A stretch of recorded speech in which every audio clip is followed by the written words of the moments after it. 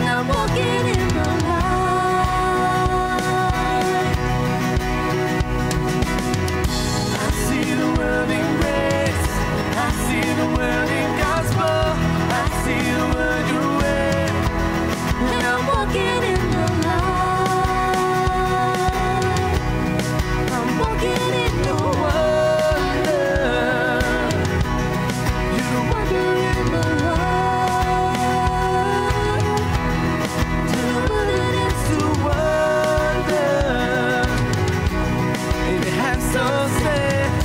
I see the world.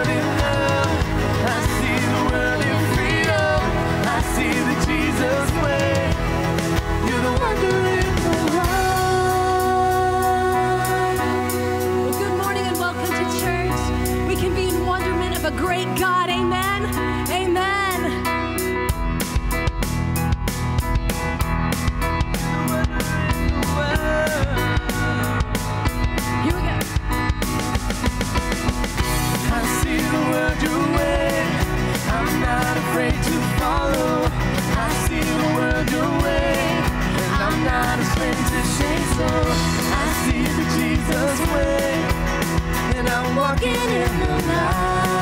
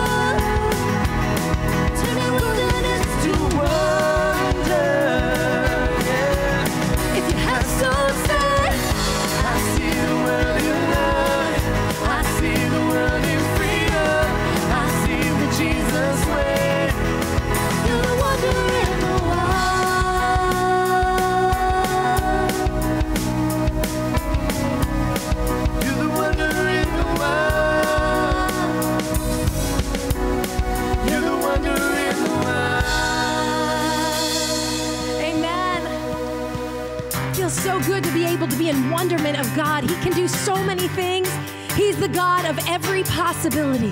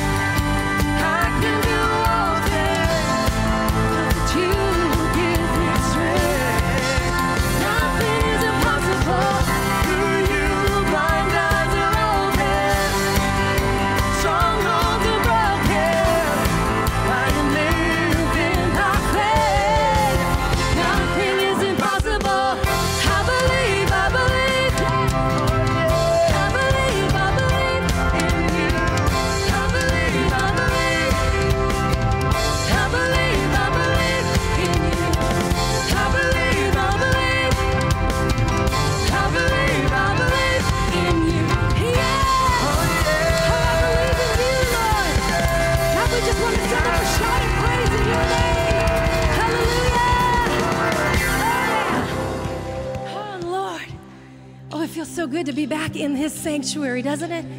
I don't know about you, but I, I long and I, I long for these times that we can come together and we can sing about how worthy our God is.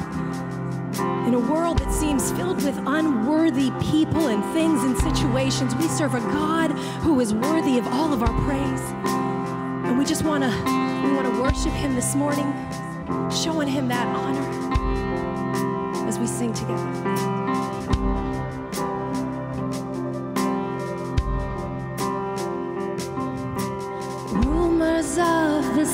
of man. Stories of a savior.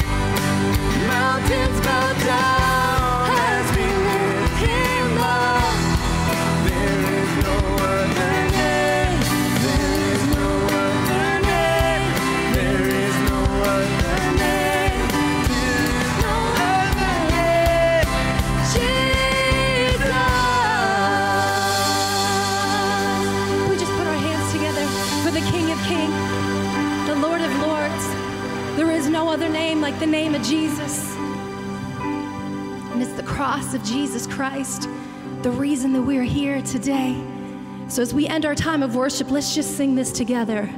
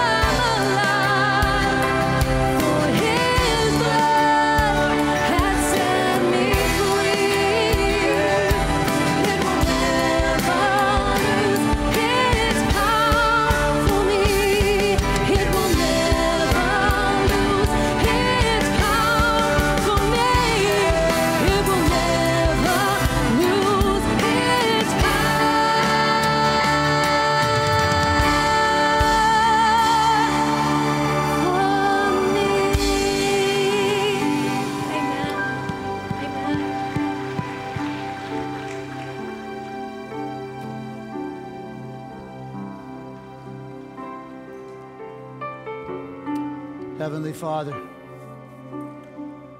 What a joy to be in worship and to sing about you, to sing to you, to open up our hearts and release our souls to you, invite you into our, our emotions.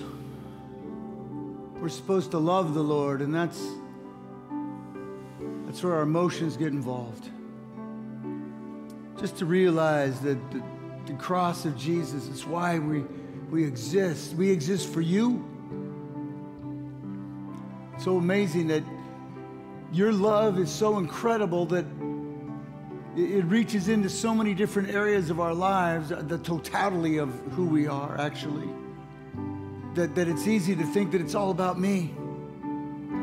When really it's this amazing God who loves us by saturating us with grace and forgiveness and His power and His promises.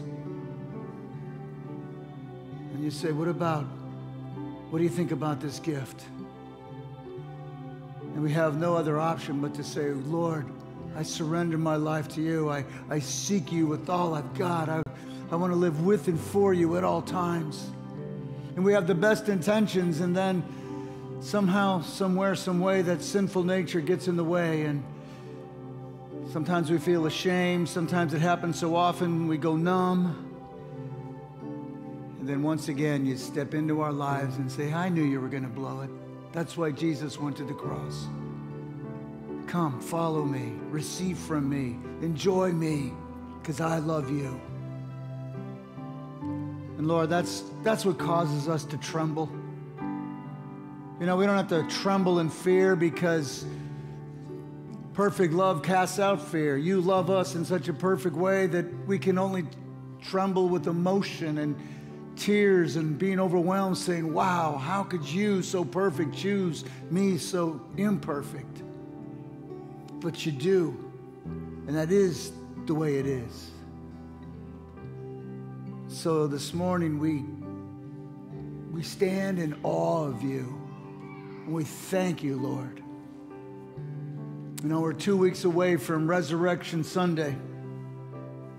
And I pray that these two weeks we'd start to zero in spiritually. Some of us, we've been doing our 40 days of Lent, but now it's, it's showtime as, as Holy Week is approaching and, and, and the cross of Jesus Christ that took care of every problem we have with God and the resurrection of Jesus Christ that empowers us to take care of all problems with one another because we're now under your Spirit's leading and influence. Oh, may we embrace these facts now and celebrate them all season and live them every day the rest of our life. Lord, I pray a blessing to move to and fro upon everyone here. Those who need healing, release the Spirit of Jesus Christ and move upon our bodies and upon our emotions and into our relationships. Lord, I want to lift up our ministry and ask that you would empower and anoint it. The children's ministries, whether it's the babies or the, the senior hires, Lord, and everybody in between, may they have a forever relationship with you, always experiencing your presence, you showing up in their lives, like you do for us. And just in case anybody's here and they're not experiencing that, how exciting to know that that's available. That you will show up if we decide to look for you. Lord, I'm asking you to, to, to oversee the construction of the building. We get excited because we see it's coming together. Would you continue to help build it? Continue to bless that building. Use it in such a powerful way that the community and the entire world is going to be impacted uh, Pastor, you're kind of overstating it there. The world? Yes, the world. That out of this building will come forth disciples that will impact the world for Jesus Christ. Big request, but you're a big God, and I don't think we offer big enough prayers up to you. And whether it's that building or this building or every building that's represented in our households right now, fill them with your spirit, bless us with your presence, move through us so that we might be a blessing. Father, we come to church from different places on the spiritual journey. So we take a quiet personal moment now to lift up our requests, lift up our praises, to engage you.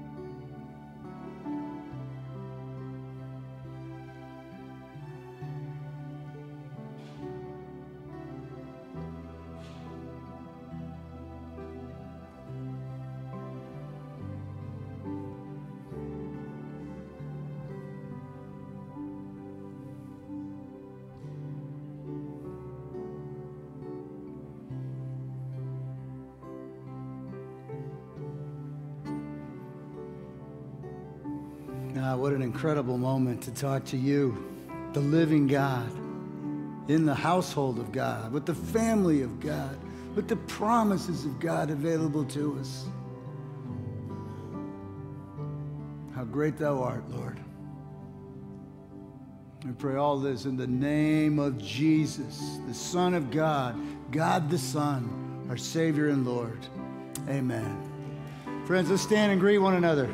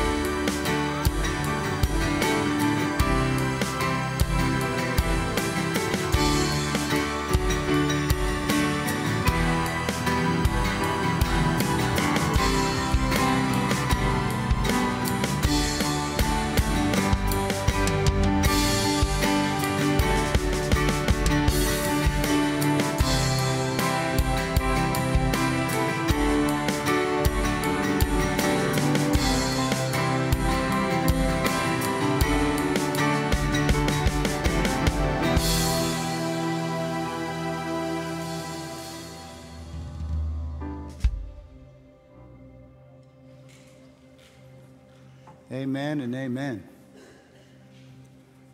Well, welcome to church today. If you happen to be a guest with us, on the seat back in front of you, you should find a green and white card. We'd love to have you pull it out and fill it out and place it in the offering plates as they circulate. And by the way, on, on these cards is a prayer request line. If you have a prayer request, these cards come directly to me and I pray for you. So take advantage of that if you will. Also, for those sitting in the center aisles, if you'd be so kind to pull out these friendship pads, this is our way of finding out who came to church. This is your way of finding out who you're worshiping alongside of. It's a chance to make a friend here in church. So please do that for us if you will. I have a few announcements that we want to share with you. The first is this Wednesday at 11:30 we've got a senior luncheon taking place. So uh, for our snowbirds, before you go home, if you want to get together one more time, for our regular seniors, come on in. Let's make some friendships. We're going to have a, a great time uh, sharing life together. So please do that for us. If you're interested in prayer and feel the call to be a prayer warrior, I want to remind you that prayer moves the hand of God, that you can pray things into existence. This is God's idea, by the way. Um, we've got a prayer group that meets at 7 o'clock. It's going to be meeting on, on this Tuesday, so Wednesday. Wednesday. So it's up in uh, the upper office. Come and, and see the Holy Spirit rock that room, okay? We've got a Bible study for women. It's also on Wednesday. The Clash of Kingdoms. It's exciting. They, they always have these great titles. So um, come 6:30. Now check this out. You can come 6:30, get some Bible into you, go upstairs, do some praying. All right. I'm seeing how this works here. We got Resurrection Week coming up, Holy Week. We got Maundy, Thursday at 7:30. We're going to have a powerful message. We got Good Friday at noon. Uh, another powerful message. We've got sunrise service 6:30 at the lake side. If you're interested in getting up early, you know I hate it every morning that I have to get up, and I'm always so excited that I got up to see the sunrise over the lake and to experience that that feeling of what it must have been like when when Jesus exited the tomb. So uh, I want to share with you. It's a great place to be on on sunrise service. Then obviously we, we got our Easter Sunday. Bring somebody to church, okay? Let's go ahead and, and take a chance and invite somebody and see if we can influence another person's journey with the Lord, okay? I want to point out that we've got an app, and we want all of you to be on the app, to have that in your phone so that at all times you're able to download a sermon, to get information, to put a prayer request in, to give, to whatever is going on in the life of the church, it's on the app. And so I believe the instructions are on your bulletin. So when the sermon gets boring, pull this out and put the app on your phone, okay? So if everybody's phone comes out, I'll know what's going on. So this is what we've got going on, all right? Well, speaking of the app, we're going to take the offering right now, which, by the way, you can give on the app. Uh, we got three different ways for you to give. And, and I want you to understand that we're not trying to shake you down. We're inviting you to step into your relationship with God. We're inviting you to let the, the power and the, and the hands and reach and love of God move through your life. You know, He rejoices in blessing us. But what really makes Him excited is when He gives to us and we turn it into blessing other people. That's when the flow just keeps coming because He knows He can trust us to care for His agenda. And when we take care of His agenda, He makes sure to take care of our agenda. And we just live in this exciting adventure of faith.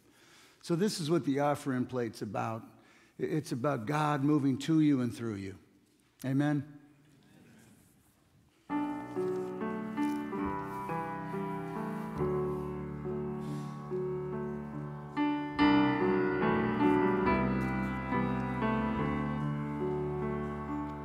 On that day,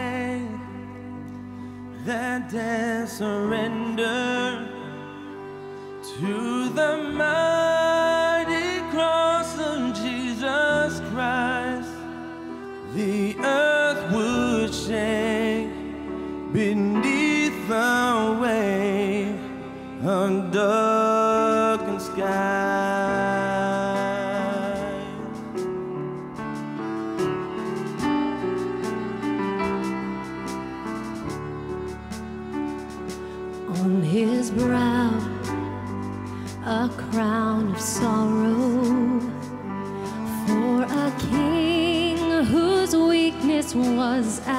Strength. No word he spoke,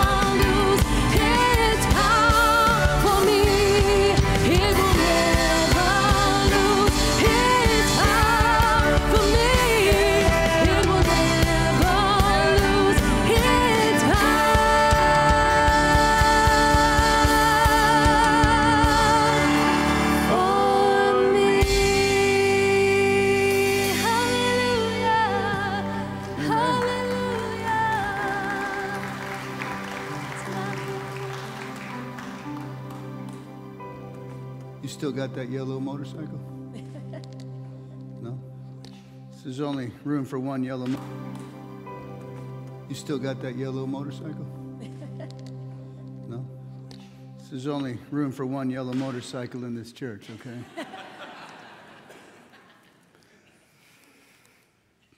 We've been doing a one another series, and today we're going to tackle something very difficult forgiving one another.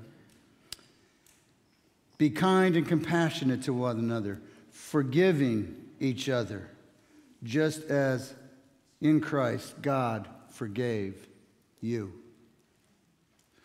You might recall if you were around on Ash Wednesday, I suggested instead of giving up the latte, maybe the 40 days of Lent could be the experience of forgiving somebody or some people.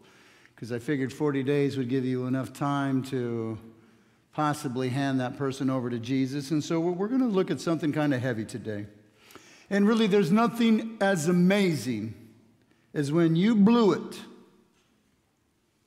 and your spouse or your boss or your friend forgave you. Remember in that Victor Hugo novel, Les Miserables? Um, Jean Val, he, uh, Jean Valjean, I should say, steals the priest's silver. And he gets caught, and the, the police bring him back to the priest because they're about to say, Did he steal this? Because we're sending him away forever.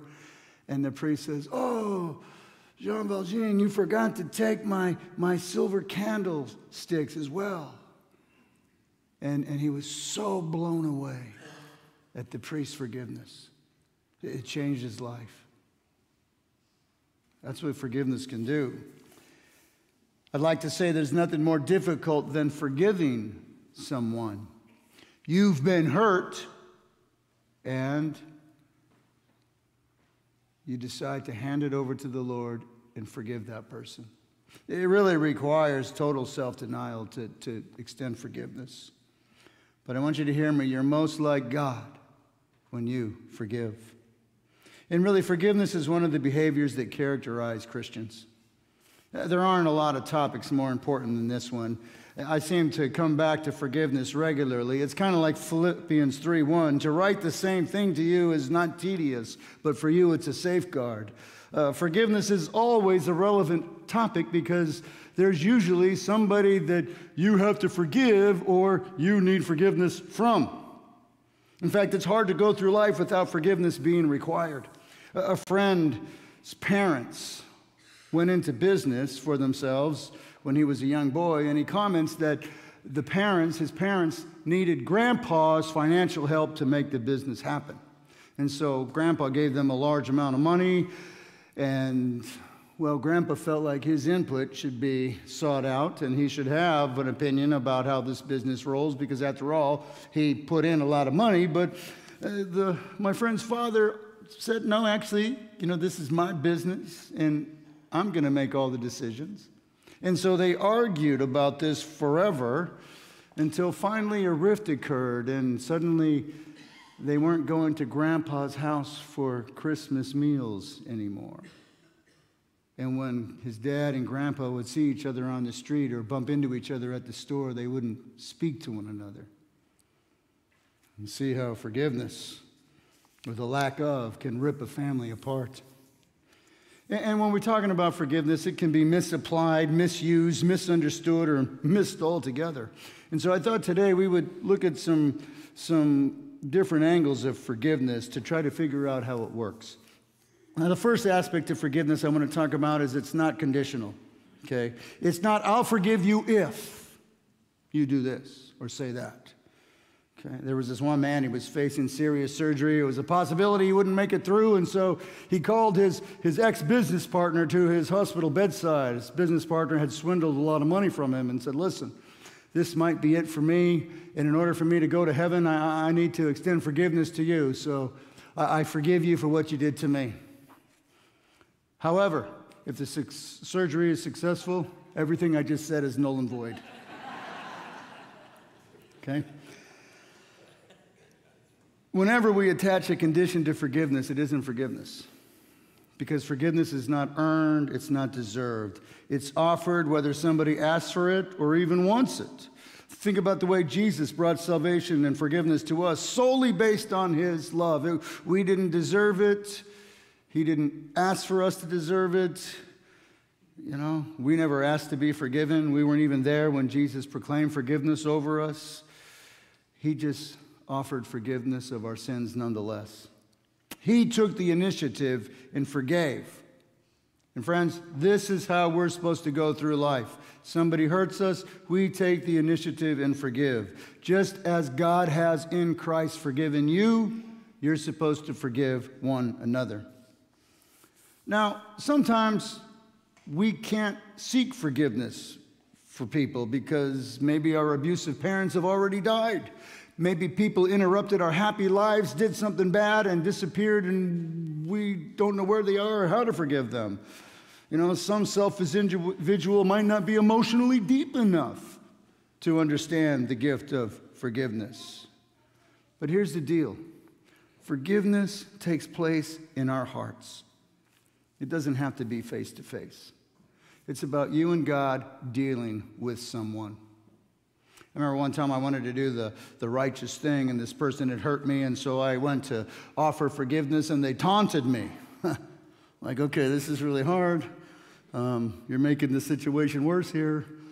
Uh, yeah, some people, they don't honor the gift. But it wasn't about me and that person as much about me releasing that person to God. And sometimes the offense is deep and it takes a number of rehashings in your mind to let this happen, okay? You might have to forgive somebody, like I said, for the season of Lent, 40 days. But there comes a definitive moment in your life when you say, okay, I'm handing this person over to God. Lord, I give them to you. And whenever they come to mind, I'm not going to think about what went wrong between me and them. And whenever they come to mind, I'm going to remember that I chose to release them. It's a distinct moment that you need to have with that person and the Lord. Remember, a friend of mine, her best friend stole her husband, and she uh, prayed for her best friend. And I said, How's that going? She goes, Well, you know, you can't really hate somebody when you're praying for them to meet Jesus every day. That's how she released that horrible situation. But I say horrible situation. Forgiveness does not minimize the offense, pretending that it never occurred. We've been hurt, and we really can't just shrug it off if it's no, as if it's no big deal. Okay? We don't want to cheapen what forgiveness is really all about. It's not being spiritual to minimize the offense. Because when you suppress the hurt, well, we actually hurt ourselves emotionally and add unresolved issues to your life. It's better to bring them out and deal with them. You know, people will argue, well, why couldn't God just pronounce forgiveness over us instead of making Jesus die on the cross? Well, here's the deal about forgiveness. Okay? There's been an offense and somebody has to pay for it. Okay? You know, you, forgiveness isn't about somebody getting off the hook, it's about absorbing the offense and, and, and paying the cost for that offense. And for you and me, Jesus absorbed our cost and our offense. But, but let's do a reality check real quickly here. Forgiveness doesn't immediately restore trust, okay? It doesn't mean that you put yourself back into a destructive relationship. And, and by the way, if you've hurt somebody, don't expect to immediately be restored either. You know, sometimes folks will come to me and say, you know, God forgave me. Why can't they forgive me? Well, hold on a minute. Trust is earned and it requires an extended period of time. And, and forgiveness doesn't mean it's going to go back to the way it was. No, forgiveness is the starting point, allowing a new normal to take place. Okay? You've been hurt. There's a problem between you.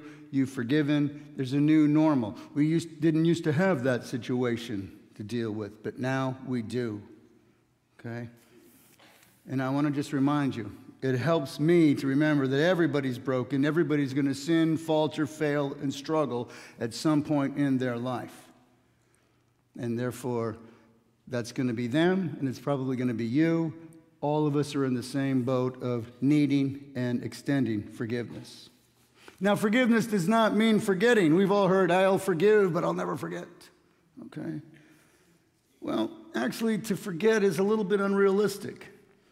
And forgiving is not forgetting the offense, rather, it's choosing to no longer remember the offense to hold it against that person. Very important that you hear this. You know, 1 Corinthians 13 says, Love keeps no record of wrongs. So when somebody hurts you, instead of writing it down for posterity, choose to no longer store it for future use against that person. Super important that you hear this because there's something better than forgiving and forgetting. It's forgiving and then watching God in the forgiveness process bring a transformation in that person and your relationship with them. And by the way, we might say, I forgive, but I'll never forget. But with God, He says, I will remember your sins no more. Wow. That's how God deals with your sins. You confess them, He says, Good, let's move on together. We've got some territory to, to acquire, to traverse. He's ready to take you forward in this journey through life. And how many times are we still dragging those sins? And, and God's like, What? I, I thought we dealt with that. We forgave that. Let's go forward. Okay, I want you to hear me. It's important. The founder of the Red Cross was hurt badly by a man, and somebody brought the offense up to her, and she said, I distinctly remember forgetting that. Okay. What, a, what a way to do life. And, this means that when we apply our spirituality, we're choosing to invest in another person's soul development, and we choose to pray for them. And this is when spiritual maturity starts to blossom in our life. It's when we don't start measuring life in terms of what's happened to me, but rather how to bridge Jesus to somebody else. And here's where it gets complicated for the Christian we're not allowed to withhold forgiveness from others. In the Lord's Prayer, it reads, Forgive us our sins just as we have forgiven those who've sinned against us. Ooh, in fact, it gets worse. When Jesus is done giving us that prayer, he circles back to address forgiveness. He says, If you do not forgive another, your heavenly Father will not forgive you. How can you not but stagger back? Because if you're like me, there's a few people that, you know, I struggle to forgive. Come on, don't give me the blank stare like you're in shock. I know you got that person too. But let's put that person forward right now. Okay? That person in your life.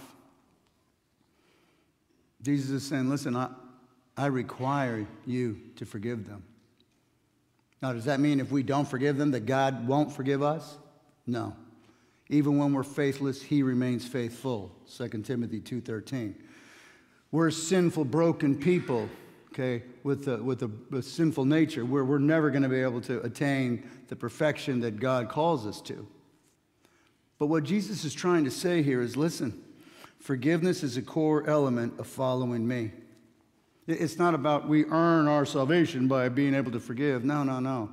It's about the fact that we've been forgiven, and just as God has in Christ forgiven us, we're supposed to forgive others.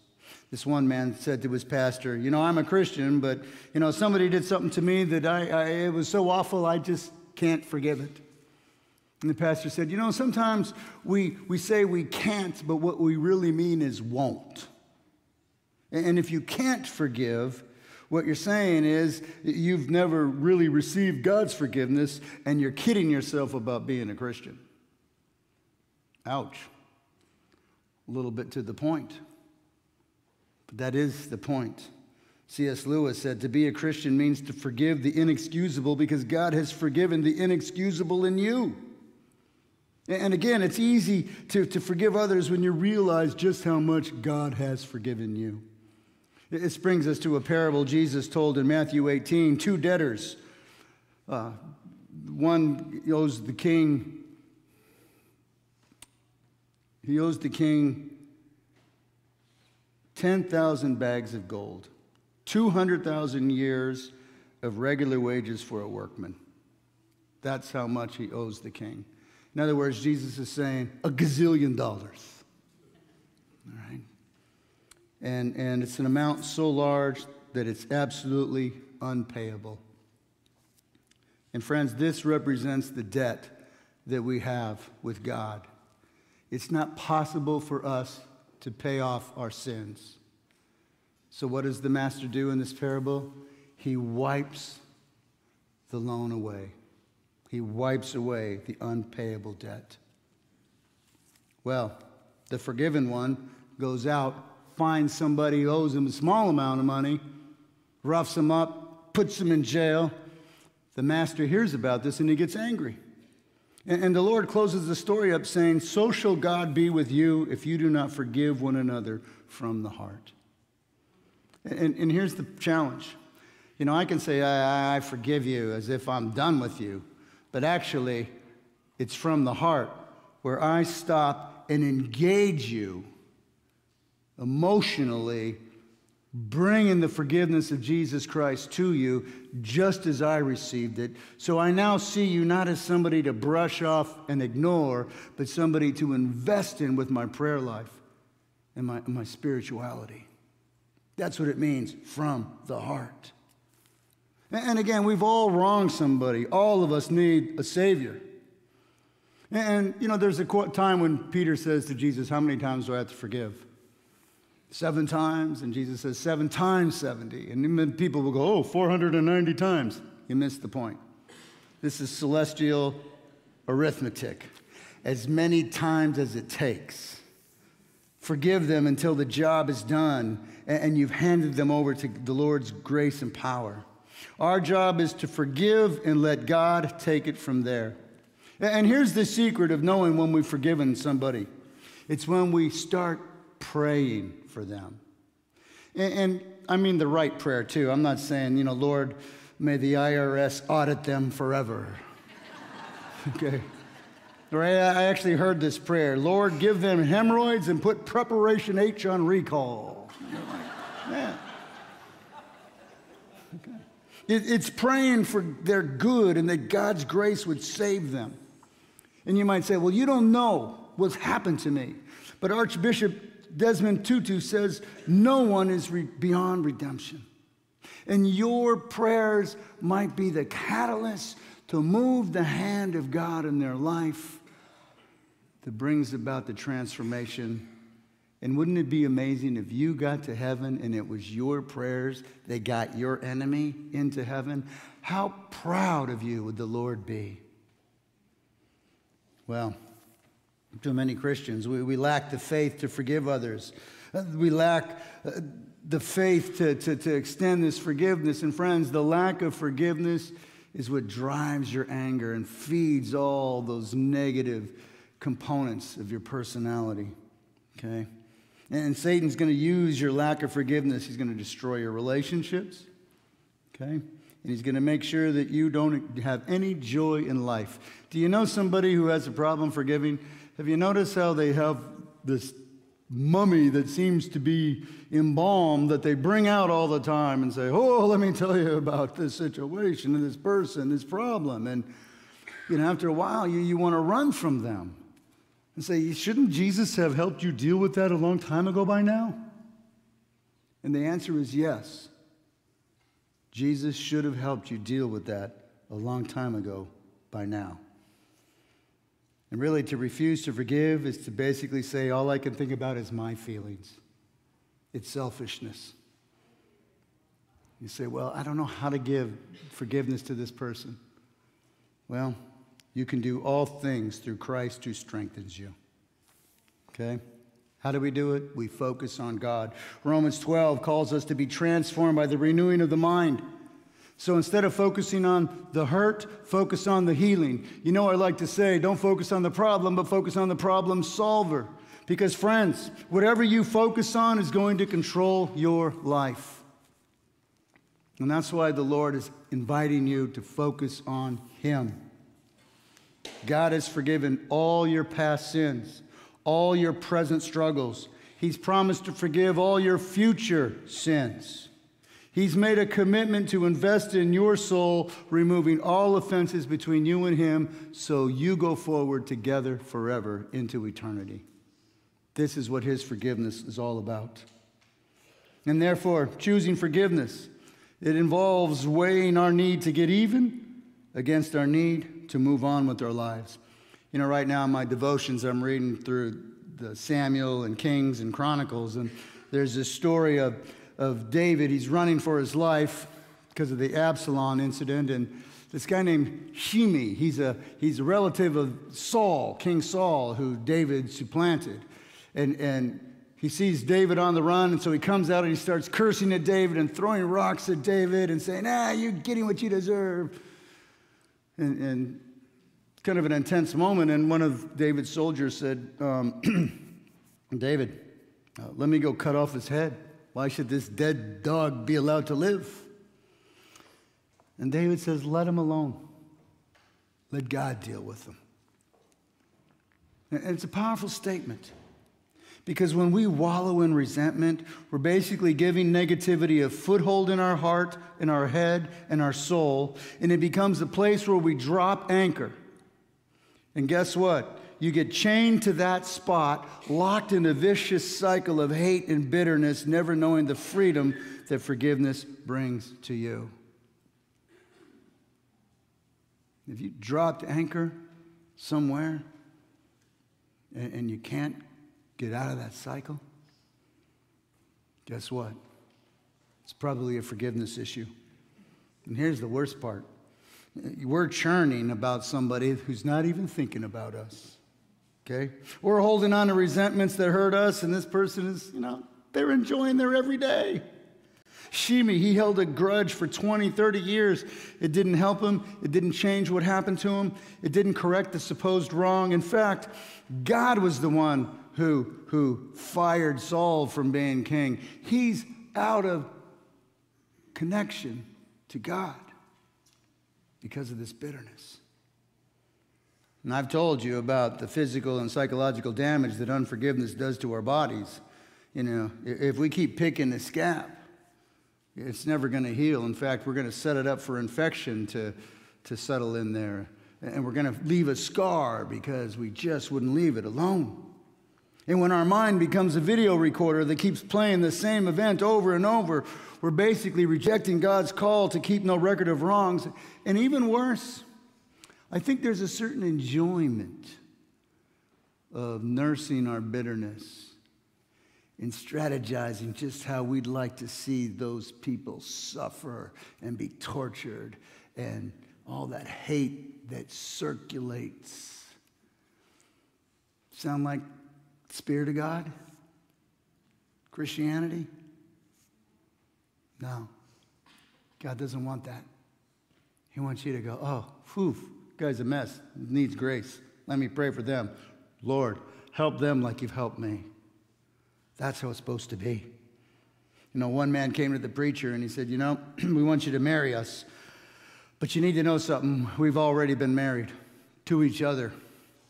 He said, About 30 years ago, we got into an argument and I got mad, and well, we were too proud to apologize, and so we separated, and finally we decided to divorce. And we lived all these years alone, and now we see how foolish we've been, and well, basically, bitterness robbed us of all the joys of life the past three decades. But we'd like to get married now and see if the Lord won't give us a few years of happiness before we die. You go, wow, the power of bitterness.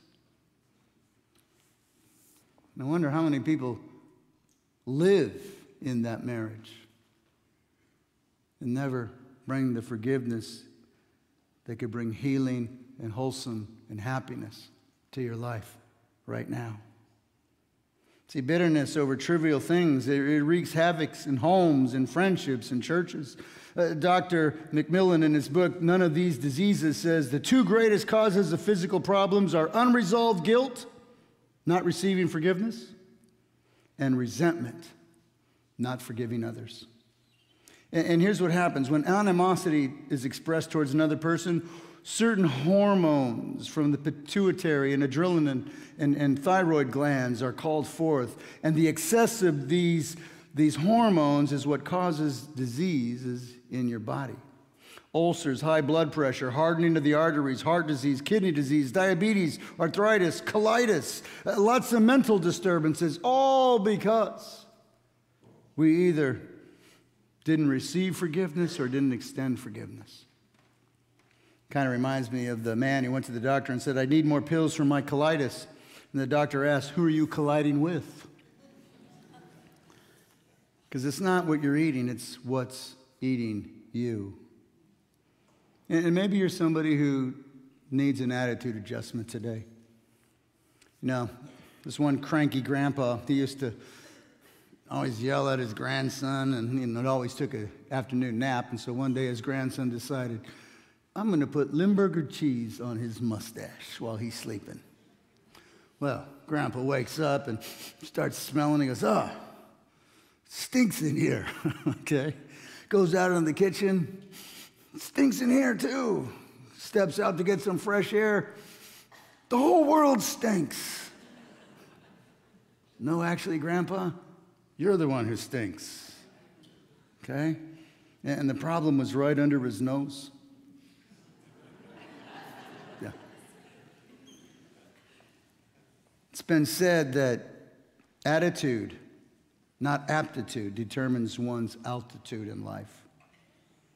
And I think this is true about our spiritual life. Attitude, not aptitude, determines one's altitude in our, our spiritual journey. And forgiveness, it might not match how you're feeling on the inside, but it's a decision that you and I make to promote God's love and break the cycle of hatred. Okay? And, when you don't forgive, you're putting yourself in bondage to your offender, and it is adversely affecting your closeness to God. Right? Paul says, stop grieving the Holy Spirit. He makes a statement because an offense against a brother or sister in Christ is an offense against the Holy Spirit. That's why David said in response to the Bathsheba event, I have sinned against thee and thee only. You see, sin is breaking the rules, and God sets the rules. You know, you and I, we broke God's rules. And, that's why the curse of sin and death were our destiny. And this leads us to the, possibly the most powerful statement in all the Bible when Jesus said on the cross, Father, forgive them. They know not what they do. You know, over the centuries, theologians have debated who this forgiveness was extended to. Was it the Roman soldiers who put Jesus on the cross because they didn't know what they were doing? Or was it the religious leaders who had Jesus killed because, well, Jesus was forgiving his murderers and showing us the, the power of forgiving people? Who, was forgiven from the cross? Well, on Thursday nights, Pastor Neil Rhodes has been going through the last seven words Jesus uttered from the cross, and, and he says the answer is found in the Greek word that Jesus used for do. They know not what they do. You see, there's two words for do. Prasso, it's when you perform an act, it's when you do something. But the term Jesus uses is poio, which refers to doing once and bringing forth something which has an independent existence of its own. In other words, once Adam sinned, he set in motion something he couldn't control and didn't understand the devastation that it was going to cause. And really, it was Adam's disobedience that set into motion sin that's continued so that all have sinned. And what Adam put into motion is what Jesus is addressing on the cross. In fact, Jesus set righteousness into motion, and it also has an existence of its own that will not stop and takes us all the way into eternity. Friends, you are the recipients of Jesus' words of forgiveness from the cross. Father, forgive them. This means Romans 8:1 there's no condemnation for those who are in Christ Jesus. Jesus took the condemnation. You don't have to be in bondage to any manifestation of sin, whether it's something you do or something that's been done to you. You've now been freed by the forgiveness of Jesus Christ. You know, this one woman testified to the transformation in her life when she accepted Jesus. She said, I'm so glad I got Jesus. I have an uncle I used to hate so much, I vowed I'd never go to his funeral. But now I'd be happy to go to it at any time. Friends, forgiveness means you can postpone your funeral here on earth. You live longer. But actually, it means you're never going to die because the sin that brings death has been removed and you now have eternal life and a relationship with God and His Son, Jesus Christ. And so, today,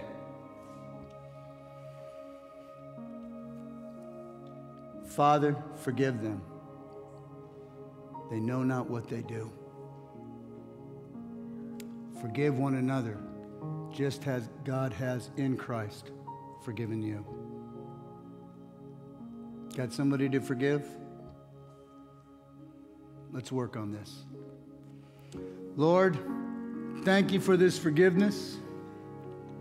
Thank you for loving us in the most unconditional way we could ever even conceive of. May we take this love, this forgiveness, and extend it to everyone in our path, present or past.